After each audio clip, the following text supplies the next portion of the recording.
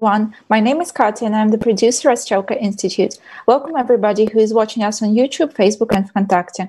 I would like to welcome Lukáš Likavčan, the speaker of our public program Strelka 2020 Live. Lukáš is a philosopher, a theorist, and a researcher, and the lecturer at the Terraforming program at Strelka Institute. Lukáš is the author of Introduction to Comparative Planetology, an essay which describes different methods of perception of our planet. Lukáš will speak today on the mat- matters of visual culture of imagining our planet Earth. There will be a Q&A session after the lecture, so please do not hesitate to post your questions on YouTube, Facebook, or Vkontakte, and I will pass them to Lukáš. The lecture will be in English with a simultaneous translation into Russian. For the Russian translation, please open Strelka Institute page on Vkontakte and Russian Facebook. English version is available on our YouTube and English Facebook. So have a great time watching, and I shall pass the word to Lukáš. Thanks so much, Katya, for a wonderful introduction. And thanks so much, Strelka, also for uh, giving me an opportunity to have this kind of broadcasted version of the talk. I would love to be in Moscow in person, but it is also really nice to be here, at least online and virtually, because I really have a good memories connected with Strelka and with Moscow. And I would like to share some of the recent developments of this, you know, relationship with this institution I have throughout the last couple of years. So it's a trailer, what I'm going to do today, a trailer, a sort of lecture trailer for my new book published at Strelka Press. The name of the uh, book is the same as the name of the lecture I'm going to do today Introduction to Comparative Planetology. This lecture was, I mean, this book was actually uh, launched last December, but uh, what I'm going to do today is not exactly that kind of lecture, which would be just an introduction to this topic as I usually do that, because I will try to use many or some Russian references to clarify what the book is about, to make it somehow, you know, more approachable also for the audience of this lecture. So I will start with a very specific Russian reference. Uh, and maybe you even know this story because uh, either from Russian history, the history of Russian literature, or from the wonderful analysis of this book by McKenzie Wark in her book Molecular Red. Uh, in 1908, uh, Alexander Bogdanov, who's the author of this story, uh, wrote a utopian science fiction novel. The name of this story, the name of this book is Red Star. The plot of the book presents a Russian revolutionary, a revolutionary man whose name is uh, Leonid. And this guy, Leonid, is tormented by the uneasy prospects of communist revolution, seeing Menni obstacles on the road to, achieve, to achieve planetary society based on socialist values that Bogdanov was committed to back at the beginning of 20th century. One day, uh, Leonid, the main protagonist, is visited by many. Menni is a Martian whose plan is to take Leonid to Mars. Leonid thus finds himself in the middle of an advanced alien society, and he discovers how communist principles envisioned in Marxist writings are embodied in the collectivist Martian society. Uh, the Martians explain Leonid throughout his visit on Mars, also how the conditions on the planet determine the type of society they have. Compared to the Earth, Mars is a small planet, and its landmass is not fragmented into several continents by a large bodies of water. According to Martians, that allowed for a great reunification of the Martian society. And another great unificatory element was the construction of the large planetary infrastructures, the canals for water and irrigation. To achieve these glorious edifices on Mars, the inhabitants of the Mars were in an urgent need for a kind of cooperation which would transcend their local communities. Earth, however, is according to Bogdanov's Martians quite complicated. Fragmented nation states cannot be unified under banner of a common cause on this planet. And that also is determined by the way how the planet itself, the Earth, is diverse and, and also divided many times. So Leonid finds a kind of bitter fate of the revolutionary pursuits of the earthly communists. The road to the socialist future on the blue planet is somehow lengthy and agonistic, so Bogdanov's story is an exercise in a comparative planetology. Uh, Kim Stanley Robinson, another sci-fi author, not from the history, but a contemporary American sci-fi author, characterized this kind of genre, this comparative planetology, as an actual science. And actually, it, it is a kind of empirical science that compares different celestial bodies in terms of the composition of their atmosphere or soil, uh, in terms of the geological and geophysical processes, and so on and so on. And in my account, comparative planetology becomes a philosophical genre, not an exact empirical science. It studies different visual and different philosophical cultures of imagining our planet, the Earth. What is important? Comparative planetology maps these cultures and these imaginations into a geopolitical realm because different imaginations of the planet reflect different geopolitical arrangements. These geopolitical spaces are then crucially translated into different geophysical and biochemical realities on the planetary scale.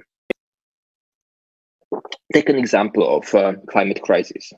As recently noted by a philosopher Bruno Latour in his manifesto called Down to Earth, today it becomes abundantly clear that um, climate crisis is not simply a political problem because it is properly speaking a geopolitical affair since it transcends nation state boundaries both in its causes and in its effects. The chemical composition of the atmosphere of our planet is thus related to the geopolitical reality of fragmented nation states that are unable of cooperation.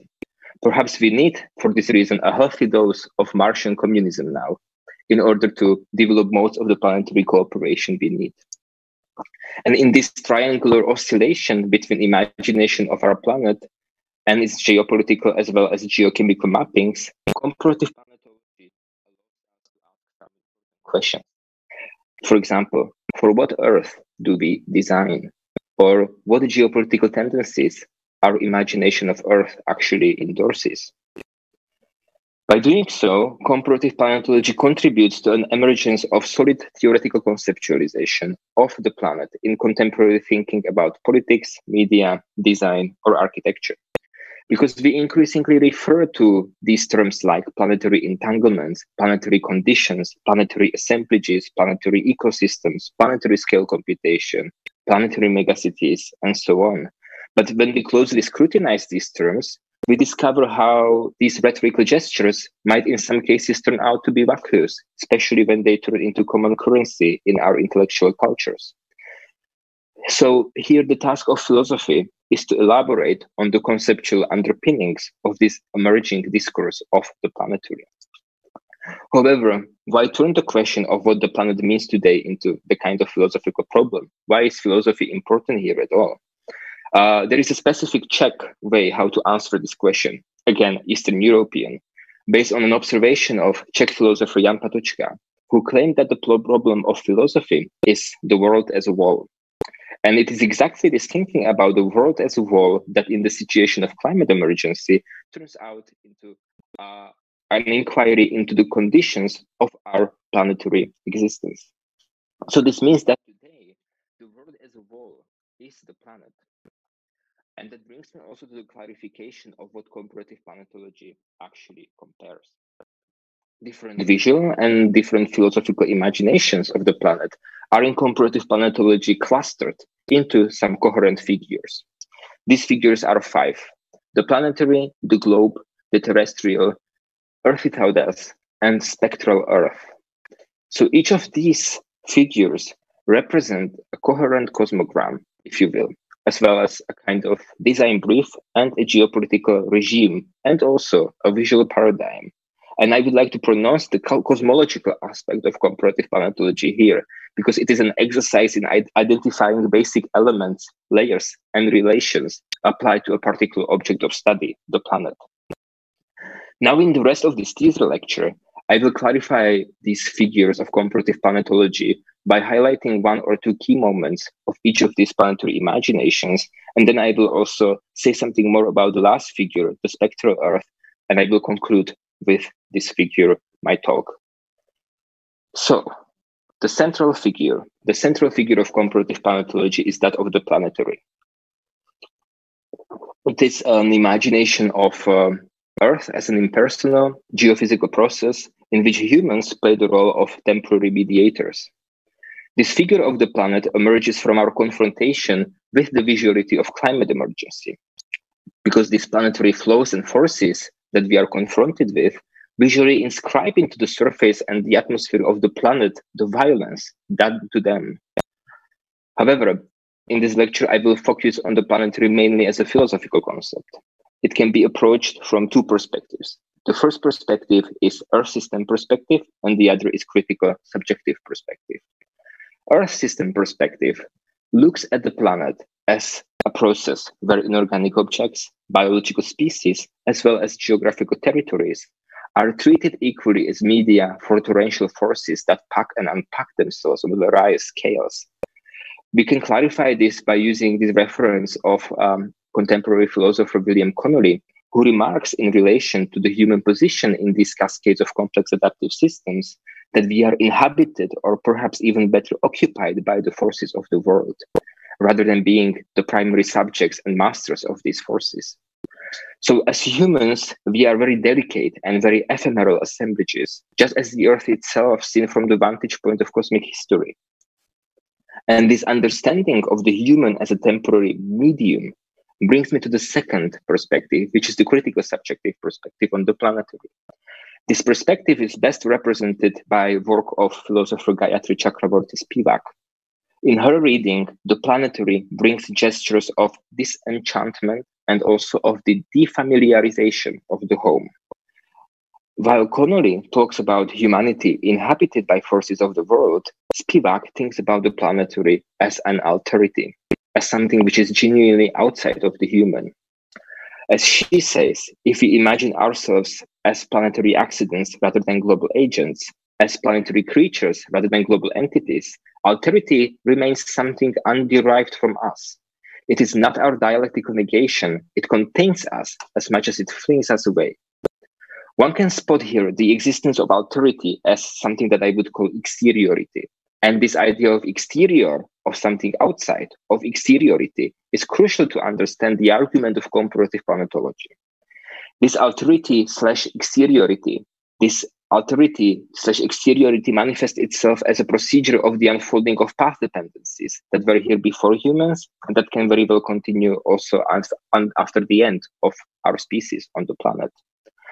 The motto of this approach to the planetary is the following one the planetary is hidden in every grain of sand.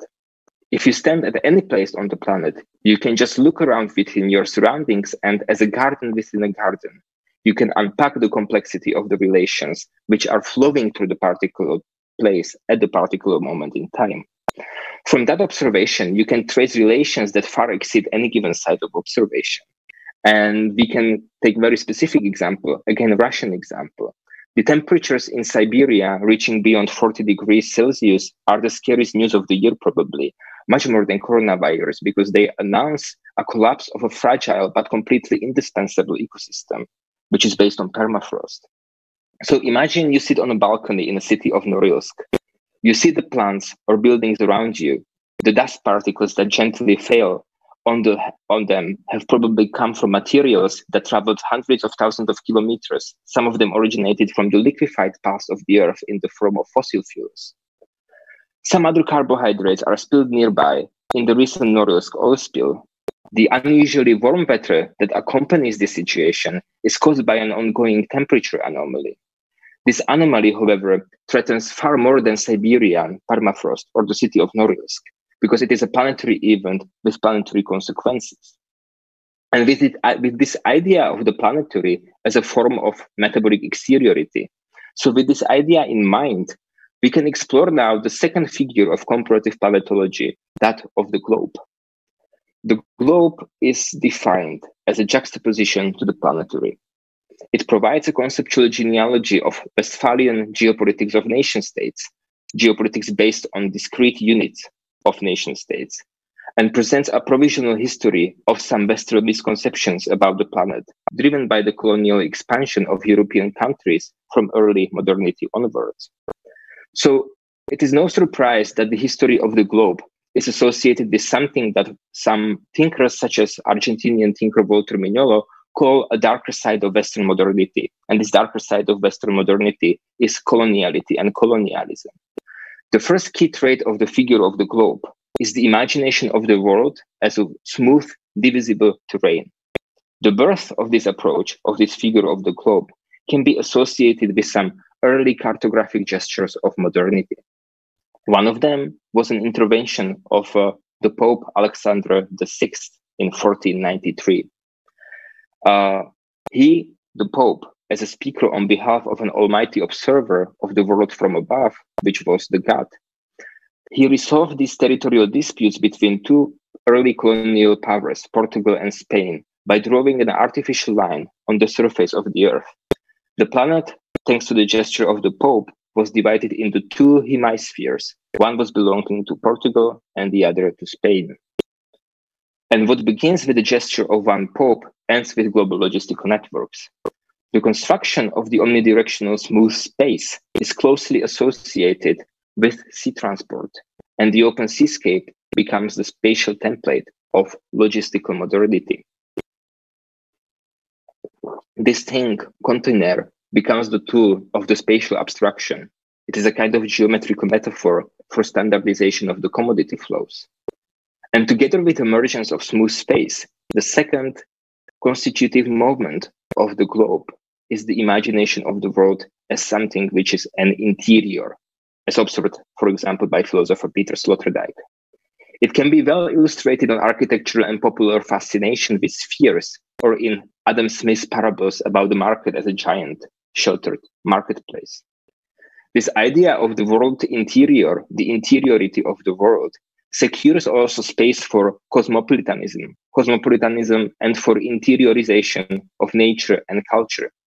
So, in relation to climate emergency, Sloterdijk shows how the metaphor of the world as an interior finds its ultimate realization in the overheated hothouse of modernity. For this reason, modernity appears to be a great march of interiorization that consumes the planetary reality in human affairs. Hence, while the planetary stands for the figure of exteriority and alterity, the globe is a colonial imagination of the world as a unified, homogeneous wall. It is a figure of interiority. And this dichotomy, this dichotomy is then invaded by the third figure of comparative planetology that attempts to bring solutions to the integral failures of the globe. And this is the figure of the terrestrial. Since the end of the Cold War, the universalist ideas carried by the figure of the globe have been substantially questioned by many political approaches. Those older than me can surely remember anti globalist protests culminating at the turn of the millennium with the Battle for Seattle or marches against the meeting of the International Monetary Fund in Prague.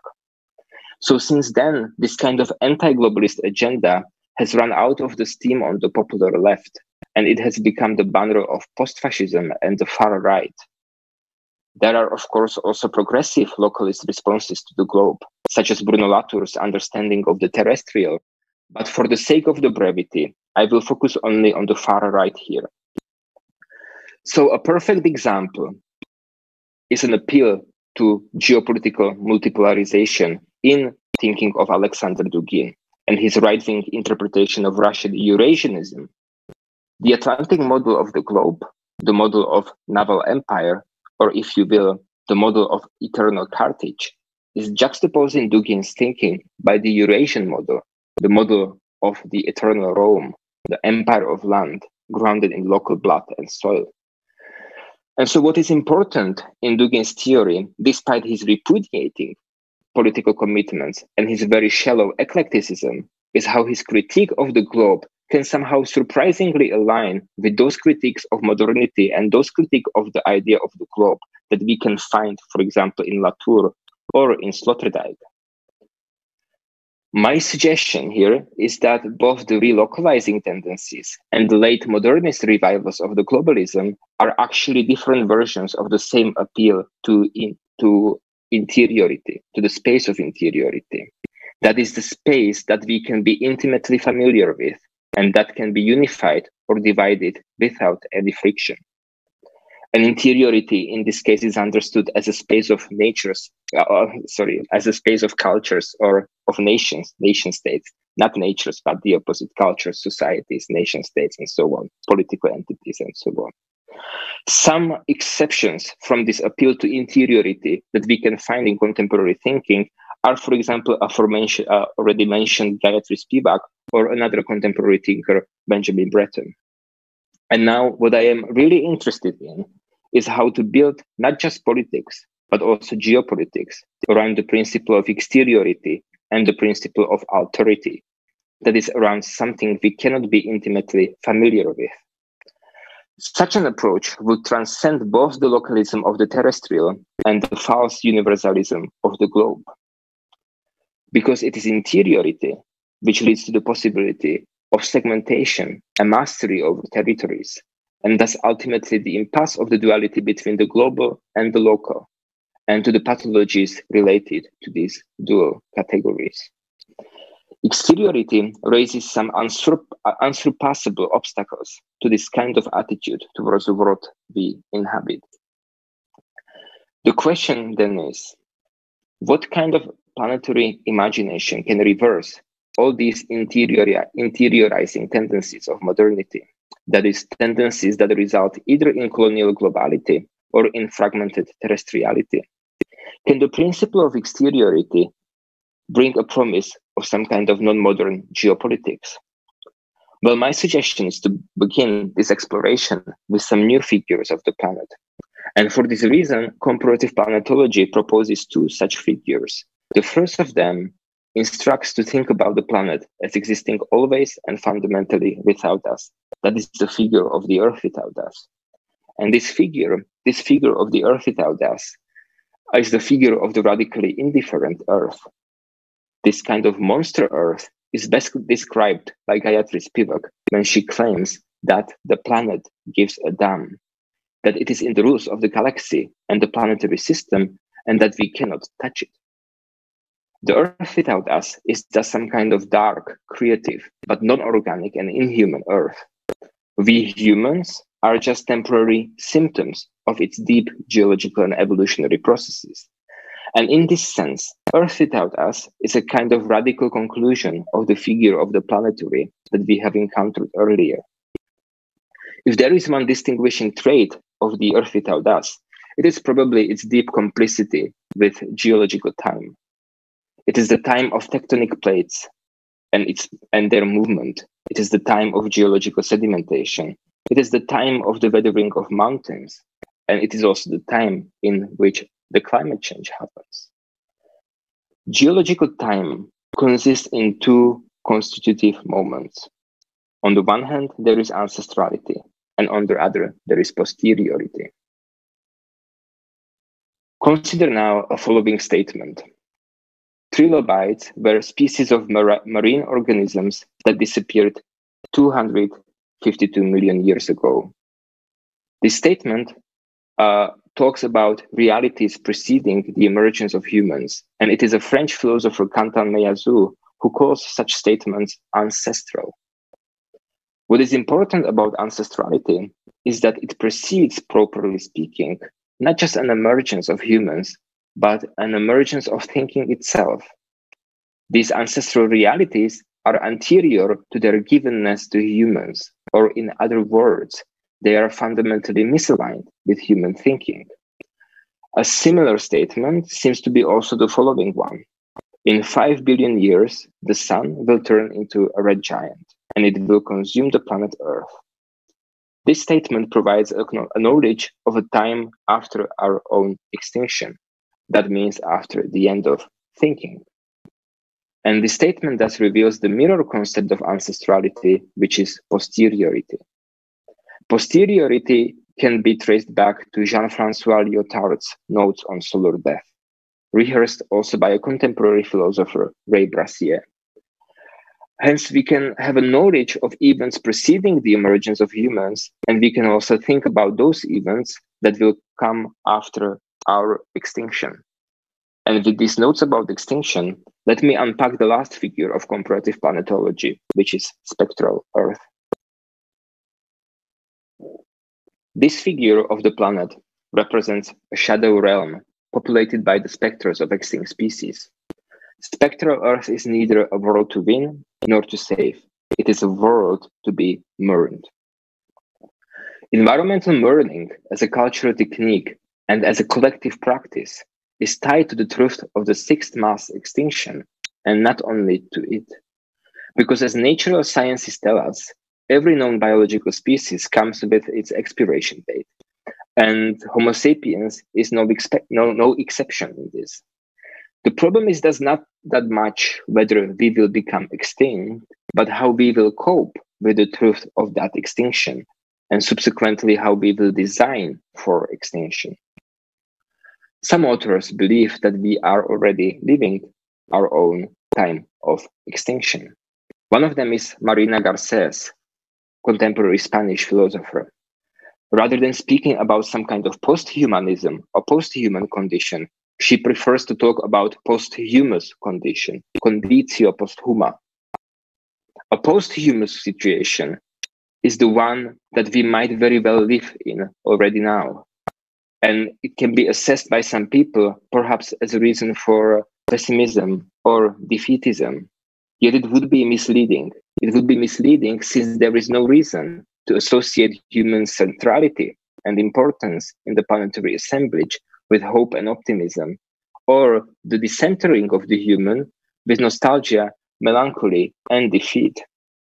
On contrary, conditio posthuma carries the possibility of living with the truth of extinction, that is, living with the spectre of the future death of the species. This figure, the figure of spectral Earth, thus allows us to see ourselves as ephemeral elements of planetary metabolism, arriving at a variation of what is by some thinkers called an outside view on ourselves.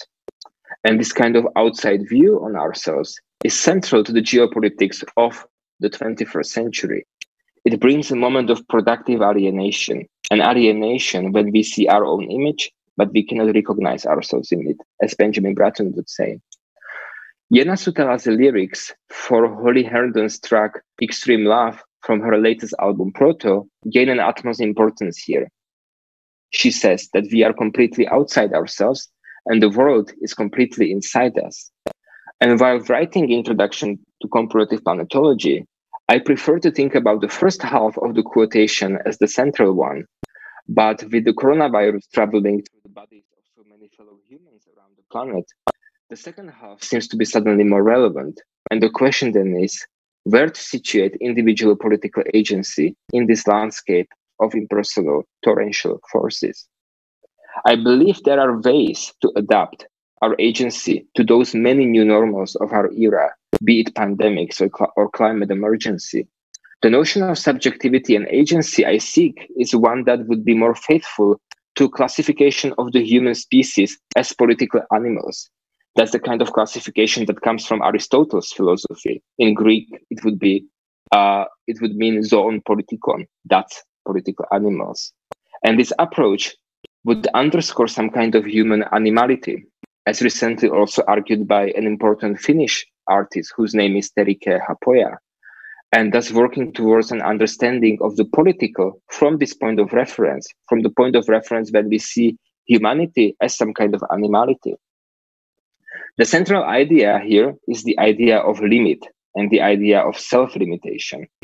And this idea is based on exercising freedom by posing limits to ourselves, as well as by understanding these limits and maneuvering between these limits. And finally, also by elaborating on these limits towards some new modes of collective existence. In post communist Eastern European context, limits and self limitation are taken as an extremely hostile idea, given the history of freedom and democracy in this region. For this reason, it is twice as important to pronounce that the liberal idea of freedom, the idea we have been pursuing for the last 30 years, may be in the wake of the ecological collapse replaced with a more complex and more nuanced notion of political agency. Take this example. By wearing a face mask, you publicly announce that the conditions of your existence do not end at the tip of your nose.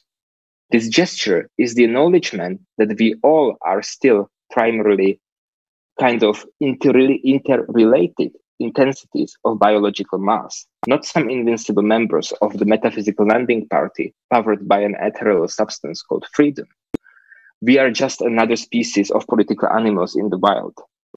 We are vulnerable vectors of alien particles, and that is where the notion of political agency can be fostered in how we bond or how we withdraw from bondage in order to elaborate on our own limits and in order to continually update our agency on an ever changing cosmic background of reality. So, to wrap up, let me elaborate on a few concluding remarks. The figure of spectral Earth also feeds back into the previous figures of the Earth without us and the planetary. So, to explain, the planetary is a root or the base for a new imagination, and both Earth without us and spectral Earth are the continuations or some kind of radicalizations of the original proposition to view the planet as an indifferent process.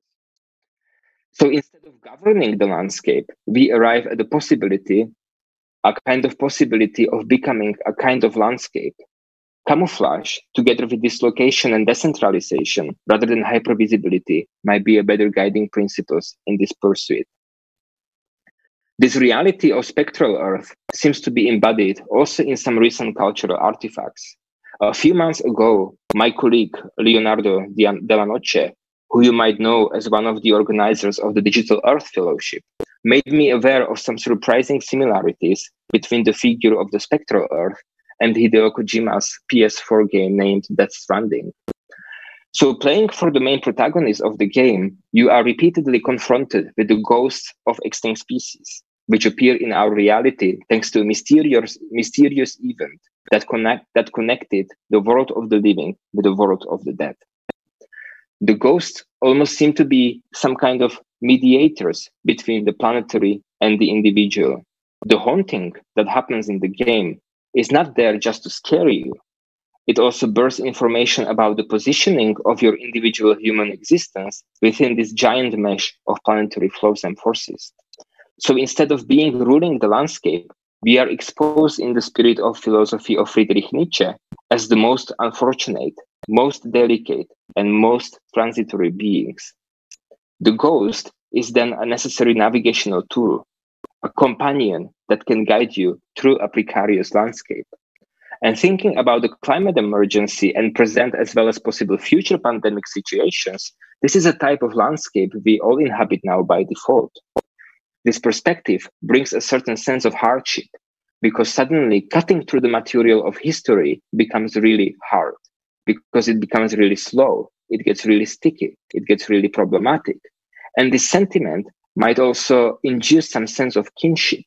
Because in the game, Players help each other to move through the problematic terrain, leaving traces and signs, many types of, for example, energy generators and so on, because they know how difficult it is to get through all the obstacles in the game and all the ghosts that you encounter there.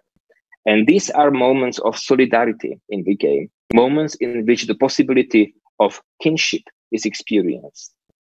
And if there is one, the medium of kinship is not institutions as we know them, but infrastructures. Infrastructural politics begins the moment when you build material networks and logistical systems. We tend to think about logistics as something which is related to the regime of the globe, the regime of globalization and logistical modernity. But the open question, and the question that is actually partly answered by Kojima's game, is how we can imagine infrastructural politics that would be post capitalist and also, properly speaking, post Anthropocenic. Much of it has to do with understanding infrastructures as parts of the metabolic nexus of chemical elements, and in general, as parts of what we would refer to in old fashioned vocabulary as nature. Infrastructures are a vehicle of a continuation of these natural flows and their artificial, artificiality here can be legitimately contested since they fully partake in the realm of the planetary. The infrastructural politics then becomes also a kind of ecological politics, and we can go much further. Kojima's game envisions an alliance of united cities across North America that replace former federal state structures in this post apocalyptic world. And this idea is also extremely relevant here because it enacts some kind of post-apocalyptic and technologically, me- technologically mediated municipal federalism, the federalism of cities. And the city to come is the city as infrastructure. And ultimately, we might begin to read the planet itself as a kind of infrastructural space where logistics are fully integrated into larger planetary metabolisms, entering the stage of geological time. So cities are infrastructural spaces, yes, but also potential geopolitical actors. They are giant metabolic chains, machines that direct our behavior and thinking. They are massive ecologies of things and bodies. And this understanding erases the distinction between the city and the forest, rendering the city a continuation of the forest by other means. As recently implied by research of Paulo Tavares and forensic architecture, we have always been constructing nature, and nature has been always constructing us. The city is just a, a kind of intermediary form of this general transformative feedback loop.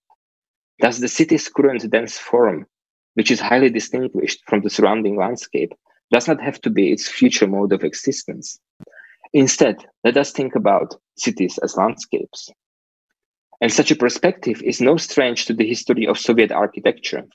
In the 60s, the group of young architects known as NER, the element of settlement, the new element of settlement is the name of this group in English, came up with an idea to think about the city as a river. Their vision was extremely infrastructural and extremely metabolic, and it hinted towards these utopian projects of municipal federalisms. The centrality of the city as a basic unit of the infra- infrastructural geopolitics leads also today to the understanding of municipal politics, politics on the levels of the cities, for example, in Moscow or any other Russian city, as of the practice of co-curating of planetary flows and ecologies. That is a practice which always exists in a larger geopolitical framing. The local, in this perspective, is no longer an opposite of the global. It is just a clumsy term, this term local.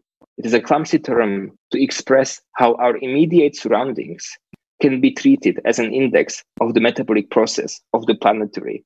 And hence, what comparative planetology in the end wants to bring is a certain framework of situatedness, not just the framework of the planetary, but also ways how to understand our particular situations at our immediate surroundings. That is all from my side what I wanted to say today in the lecture, and I, be, I will be looking forward for uh, the Q&A session now. Thank you.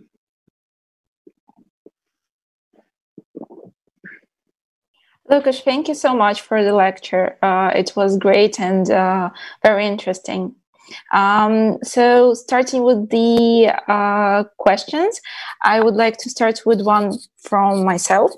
Uh, I have your book right here, and uh, on page uh, 205, you are speaking about the cities uh, and the city's current dense form, highly distinguished from the surrounding landscape, doesn't have to be its future mode of existence.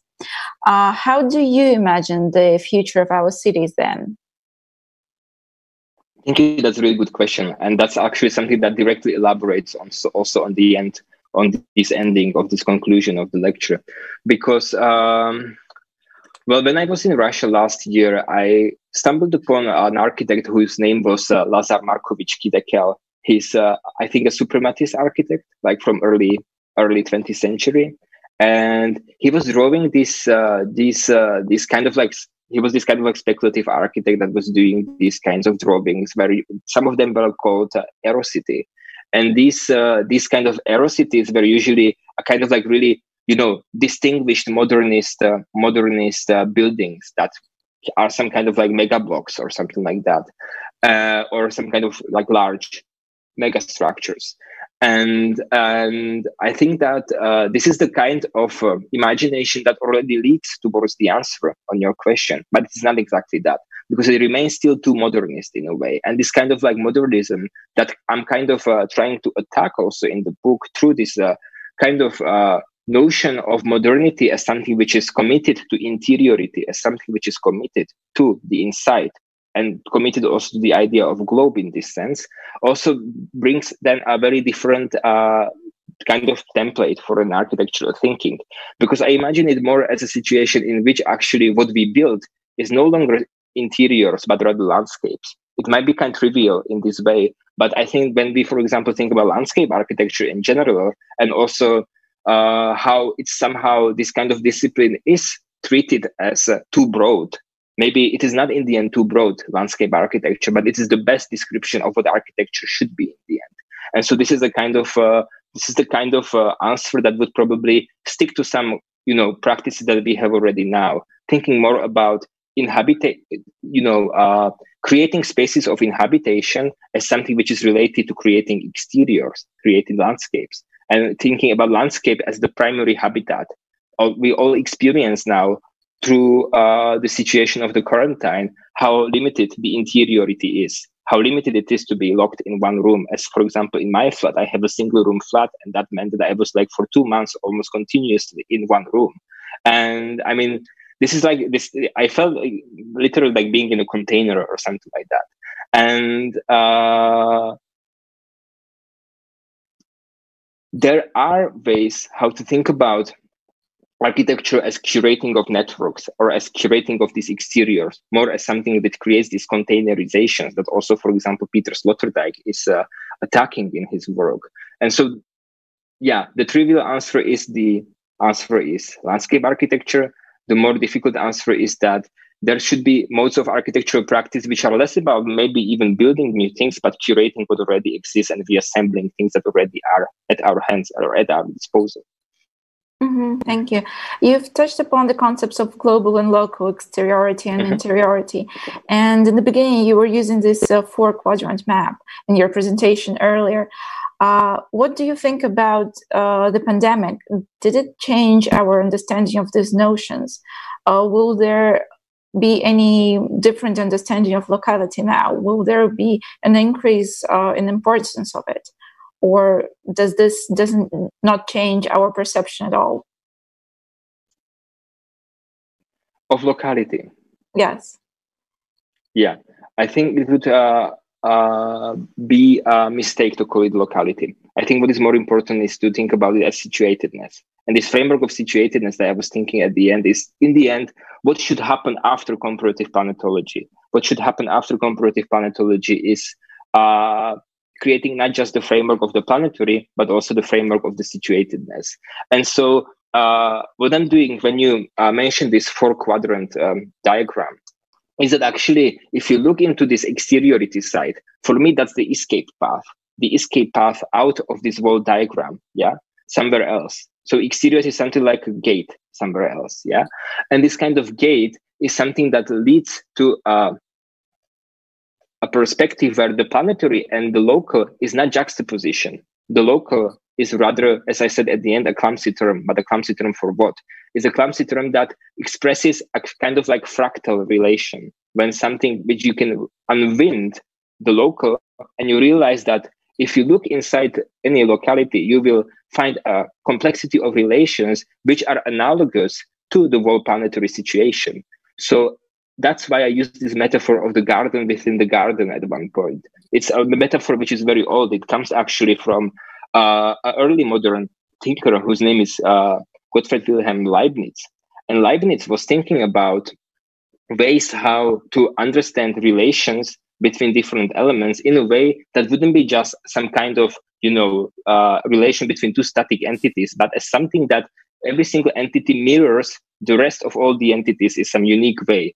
So this is the kind of situation that I want to imagine when I when I'm talking about the planetary, the kind of situation that leads to this fractality, to, to this idea that you can open the box of the locality and you will find the planetary planetary again inside. Mm-hmm, thank you. And I also wanted to ask about the figures that you're using for uh, for like the concept of comparative planetology. Are the ones which um, you're using are the only ones which exist, or these are the figures which you use to speak about uh, on the notion of climate change? Do you think that any more figures can emerge in future? Yes, definitely. I hope so, because. Um, it's the similar it's what the comparative planetology as a philosophical genre is is that it's a kind of method in the end kind of cosmological methodology. It doesn't bring some finite number of possible imaginations but the, the the, the real point is to grasp the method not the content that much because someone can use this method and arrive at a very different conclusion. And i think that some people intuitively did that in the past or they are doing that in the present I think that one of the work that I'm usually citing, not just, not just in the book, but also in the lecture now, was the work of Bruno Latour. And he has this lecture who's called uh, Tale of Seven Planets. You can find that on YouTube, that lecture. And it's a lecture where he's doing his own exercise in comparative comparative planetology, and he uses different concepts and different figures. I think what is important in comparative planetology is really to grasp this method, and you can go far beyond the limits of one particular mind using this for some kind of their philosophical endeavors and using the comparative planetology rather as a way how to actually you know multiply our imagination in a way which actually leads to some positive indexing of these different you know situa- situations like the situations i mean particular localities yeah. So uh, that's that's what is important for me in comparative planetology i think. And that is also why i think that uh, the answer to the question whether there can be more figures must be enthusiastically positive mm-hmm. Thank you. Uh, also, there is a question about own, uh, your concept of ownership and usership. Uh, so wow. you're uh, speaking about uh, in the book, I think, uh, about how we can switch from ownership into usership, and what are the terms under which we can achieve this? Is it possible today or in some nearest future when everyone are so different in their um, in their situations? Yeah. Okay. Uh, the story of this um, uh, transition from uh, ownership to usership is a story that begins, I think, with um, the first female laureate uh, nominee for the Nobel Prize in Economics. Her name was uh, and is Elinor Ostrom.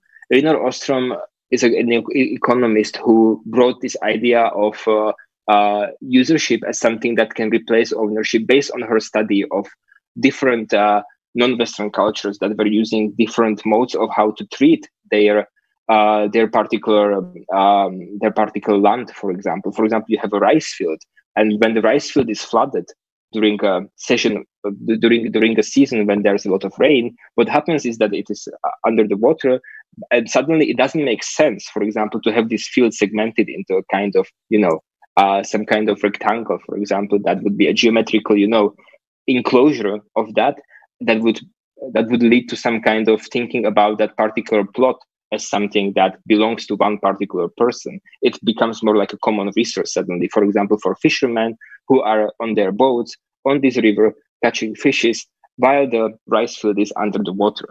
And Ostrom then realized that in the end, what is important is really that what is the mode of the way how we use that particular thing, not how we own that thing. Because the owner doesn't necessarily have to have all the, the ownership is something that defines some kind of relation to that particular land, for example, but it doesn't, strictly speaking, says about what is the regime of the access to that resource. So it is so I think that usership is about changing our perspective on what is the what is the condition of access of some resource and if you think, for example, about one particular resource which is very important at the moment, that's carbon sinks, the capacity of the Earth to uh, somehow uh, digest or consume the existing carbon which is in the atmosphere. These carbon sinks are also this kind of what Elinor Ostrom would say common pool resource. And these resources are something which have to be managed in a way which is kind of collective because you cannot uh, exclude someone from this resource in a way which would somehow prevent that person from accessing it again. These carbon sinks are something that we all need actually in that way that uh, the carrying capacity of the environment of the planet is, is limited. And this kind of uh, capacity is also expressed in this kind of carbon sinks sometimes partially. And these carbon sinks are also, in this sense, this kind of common pool resource that uh, if we is, you know, treated the, the if the access to the resource is treated unjustly, it actually results in the you know continuation of old violences, colonial violences, for example, because we see that, for example, how much carbon is uh, emitted into the atmosphere by uh, one uh, person, for example, living in Czech Republic or in uh, some center, or in Moscow or in East or in uh, I don't know Western Europe, some country or Western Europe, is very different. For example, from the carbon or the amount of carbon which is emitted by activity of someone who, for example, lives in, I don't know, India or who lives, for example, in Oceania, in those island countries that are most affected uh, by the climate change at the moment. So uh, the idea of the usership then also uh, so the way how to actually manage these common pool resources then needs global infrastructures that in a just manner share the access to these resources and this kind of relation to these resources can be then uh, you know called usership rather than as ownership of these resources because no one can own this kind of ecosystem services Mm-hmm. Thank you. Uh, there is also a question from one of our listeners who was wondering about the dangers of such an unbound understanding of design uh, slash architecture.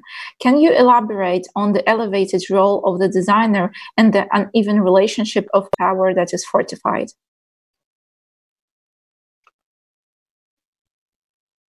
That's a really good question because I think this this is something that frequently comes to the mind of uh, um, people listening to uh, scholars or academics or also designers that are somehow that somehow went through the training in speculative uh, in speculative design.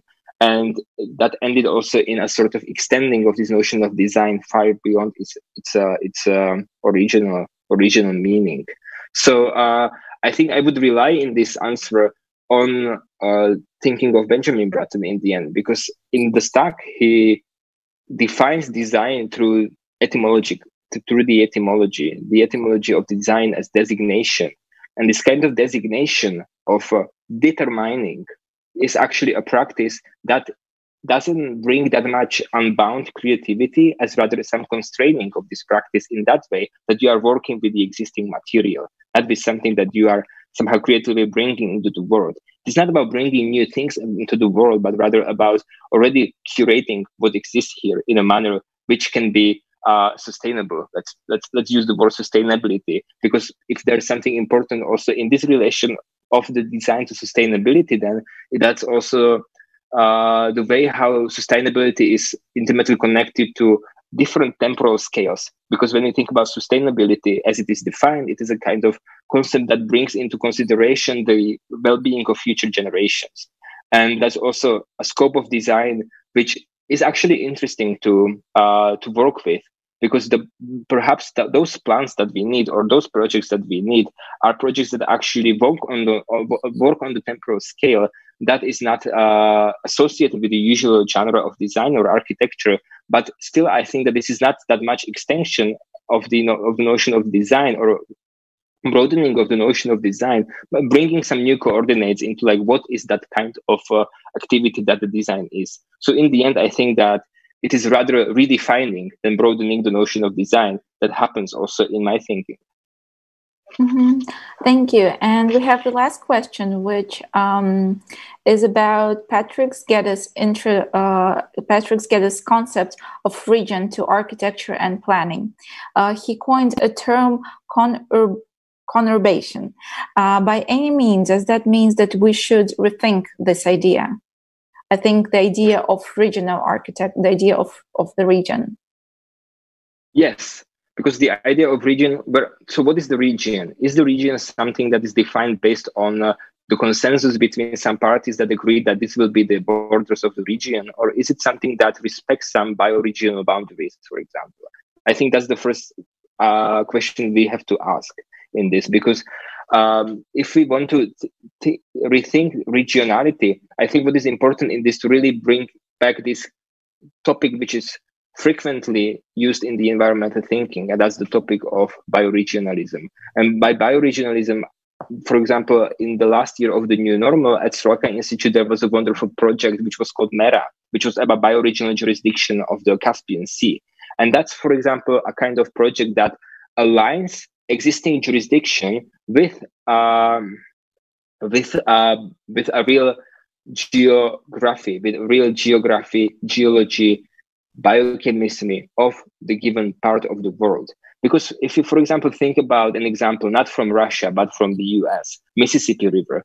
Latour also uses this example quite often.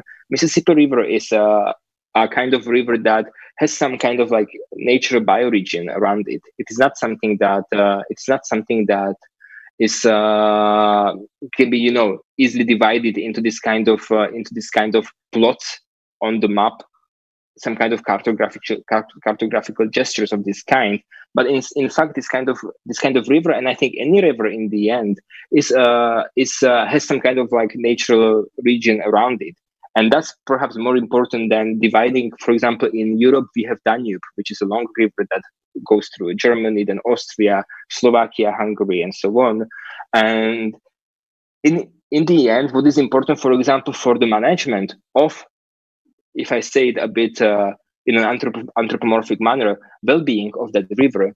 Uh, so the best way how to manage it is probably to actually manage it in its all you know length that river and to think about the environment of the river in its totality not divided into these you know sectors which are given by the different nation states through which that river flows so uh, in this sense, this kind of like political or this kind of a geopolitical arrangement is parasitic on some arrangement which predates this uh, geopolitical arrangement, and that can inform the way how we can arrange our geopolitical jurisdictions better. Lukáš, thank you so much for your answers and thank you for the lecture. Thank you. Have a nice day or evening. Uh, thank you. Uh, this lecture will stay on YouTube and all Strelka social media platforms. Please follow us there and check out strelka.com for more events. Thank you, everybody, for watching us today. Bye.